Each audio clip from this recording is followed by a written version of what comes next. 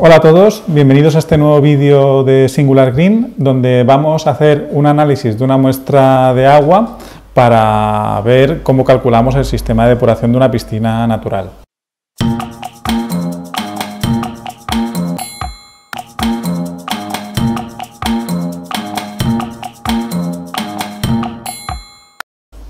Cuando nosotros vamos a hacer una piscina natural, lo primero que solicitamos al cliente es una muestra de agua, del agua con la que va a llenar la piscina. Es decir, eh, no del agua que tiene, por ejemplo, si tiene una piscina que ya existe, no del agua que está en la piscina, porque ese agua ya no se puede utilizar a tener cloro en muchos nutrientes, sino del agua con la que la va a llenar. Agua del grifo, agua de pozo, agua de riego, sea cual sea la fuente de agua, agua de manantial. Es decir, cualquier agua sirve para ser analizada. Entonces, eh, ¿Qué parámetros vamos a necesitar medir en, esta botella para saber por dónde van los tiros? Es decir, si vamos a tener problemas, qué, problemas vamos a tener, qué especies tenemos que colocar, cómo dimensionar el, sistema de depuración, pues necesitamos medir por un lado, fósforo, que ya en otros vídeos os he explicado que el fósforo es el parámetro más importante eh, en una piscina natural para eh, garantizar su funcionamiento. Por otro lado, pH y conductividad.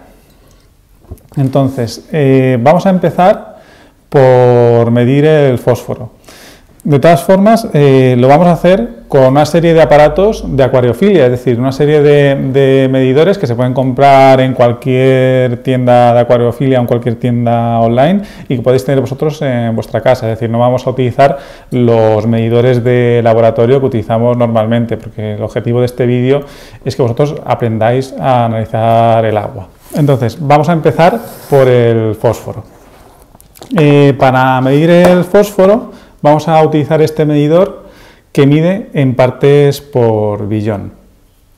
Entonces, eh, este medidor en concreto, eh, lo que se hace es que se coloca en el agua este reactivo, ¿vale? Y el propio medidor lo analiza y te dice la cantidad de fósforo que tiene, como ya digo, en partes por billón.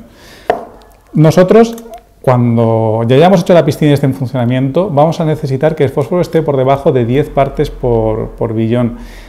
En función de la cantidad de fósforo que tenga el agua que nos entra, eh, tendremos que colocar más cantidad de, de, plantas y más zonas de depuración para absorber esa cantidad de fósforo.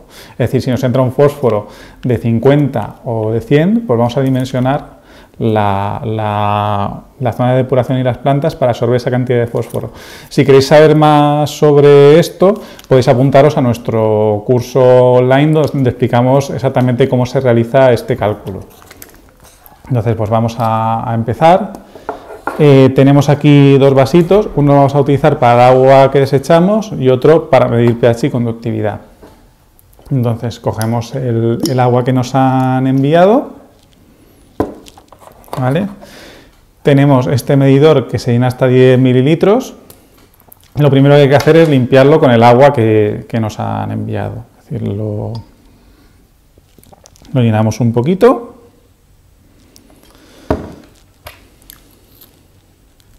Y lo limpiamos. ¿Por qué? Porque del anterior análisis que hemos hecho, pues pueden quedar restos que nos pueden eh, cambiar la medición que estamos haciendo. Entonces lo primero es limpiar bien lo que es el recipiente donde vamos a hacer el análisis.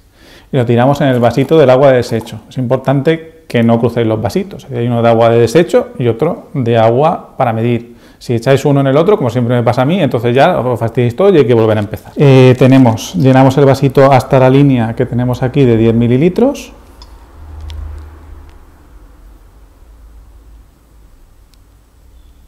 Ahí está, si nos pasamos un poquito tampoco pasa nada, es decir, si nos desvía un 5% en la medición, eso no nos va, no nos va a afectar sensiblemente.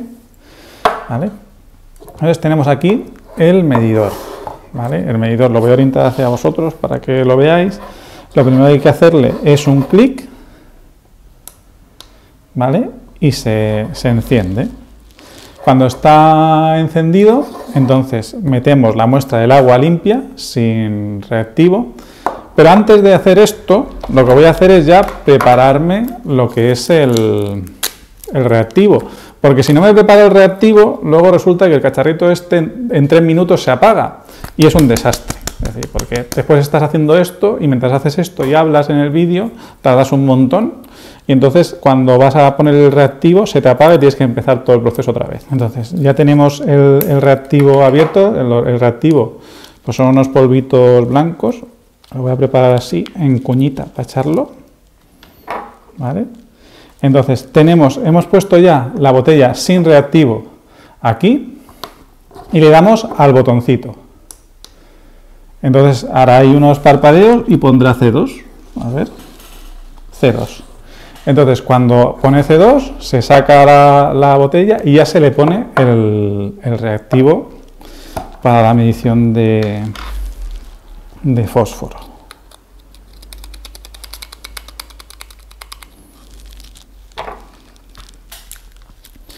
Hemos puesto el reactivo, tenemos que hacer que se disuelva y tenemos que hacer todo esto antes de tres minutos que no se nos apague el cacharrito. Es decir, tenemos que conseguir que se disuelva.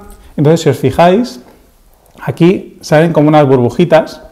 Esas burbujitas, si las dejamos, nos van a distorsionar la, medición.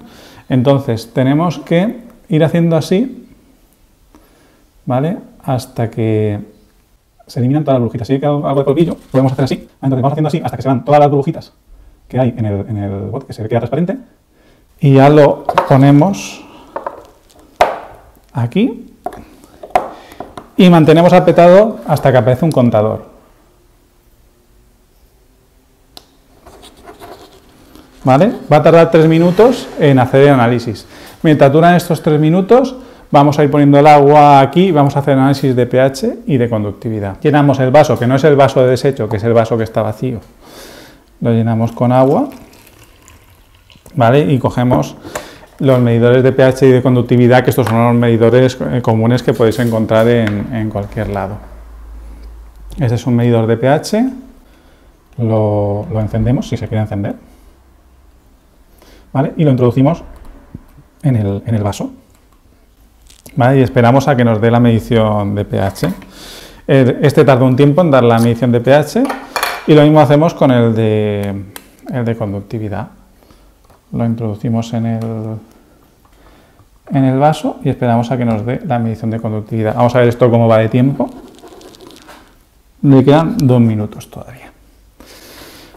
Entonces, ya tenemos la, la, medición de conductividad. La medición de conductividad, si os fijáis, es 595 ¿vale? 595 eh, microsiemens es un agua, pues eh, aquí en Alicante es el agua típica que hay. Es decir, para que os hagáis una idea, un agua muy buena, un agua tipo Lanzarote, pues tiene 30, 80, ¿vale? Un agua calcárea de una zona así regulera como es Alicante, pues tiene 600, 500, 700 y un agua mala, pues eh, como puede ser en zonas que tienen ya pozos salinos y todo esto, pues puede tener 1000, 1300, 2000 o incluso 3000. Yo nunca bebería un agua de 3000, eso es una burrada, pero para piscinas naturales no importa. Es decir, a la hora de la, de la conductividad, lo único que te va a afectar la conductividad en la piscina natural es a la hora de seleccionar las especies.